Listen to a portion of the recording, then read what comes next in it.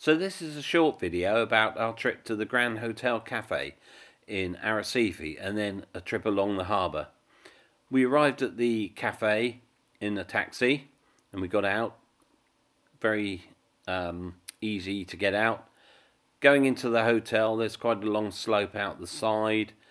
There were some double doors which opened automatically so we went up the slope asked at reception and then we had a couple of slopes to go round and then get into a lift to the 17th floor. And this is the highest building in uh, Lanzarote and it's got some wonderful landscapes and sights that you can look at. So we went into the 17th floor. You can see there's no there was no loo that I could see on there so you have to go back down to the ground floor.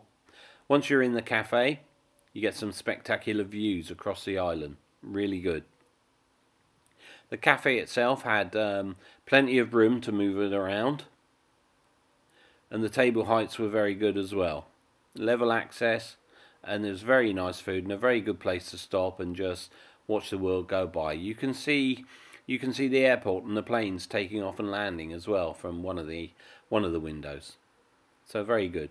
And then the next thing we did was go along to the harbour.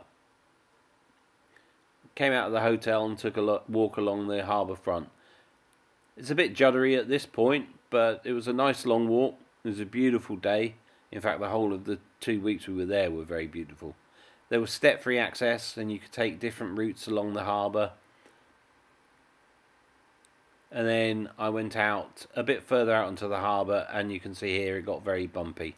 So in the end, I gave that up and turned around. Um, but absolutely beautiful.